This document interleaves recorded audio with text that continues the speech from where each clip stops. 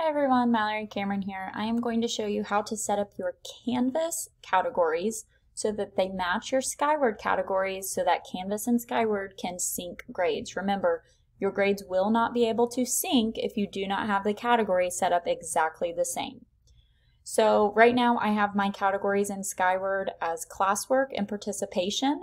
Remember the options that Skyward gives you are classwork, formative, homework, lab, participation, quiz, summative, and test. These are the only eight categories that you can use in Skyward and in turn in Canvas if you want your grades to sync. So keep that in mind.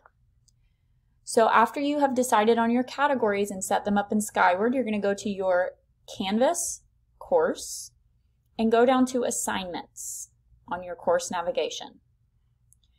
You are then going to click on Add Group or Plus Group, and you are going to type in whichever header you chose here or category you chose here, type it in exactly the same there and add. So now I have a participation and a classwork, which are my two categories.